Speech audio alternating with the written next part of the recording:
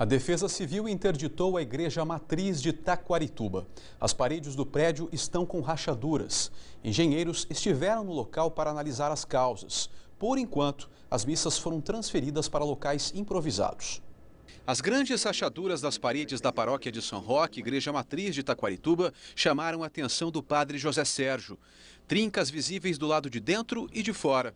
O chão também começou a ceder e as paredes descolaram.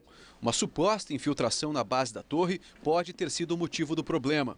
Tanto é que já colocaram terra em volta do prédio que começou a inclinar. Precisamente no dia 16 de dezembro, sentado ali no fundo da igreja, eu percebi que as trincas haviam aumentado um pouquinho mais. Assim sendo, diante da preocupação, a gente chamou profissionais na área, que estes, né, olhando, analisando os fatos, recomendaram outros profissionais que seria engenharia na área estrutural. A Defesa Civil foi acionada. Depois da avaliação, a igreja foi interditada. Esse laudo apontou várias trincas, rompimento no piso da igreja, bem como algumas fissuras na torre. E por motivos de segurança, resolvemos interditar a igreja e parcialmente aos arredores. Por segurança, a Defesa Civil bloqueou o trânsito em duas ruas próximas à torre, na Marechal Floriano Peixoto e na Capitão Cesário de Campos. Enquanto a matriz construída na década de 60 está fechada, as missas estão sendo realizadas de maneira improvisada.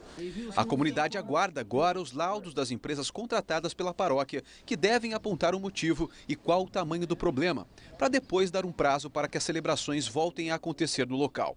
Os relatórios devem ficar prontos na próxima semana.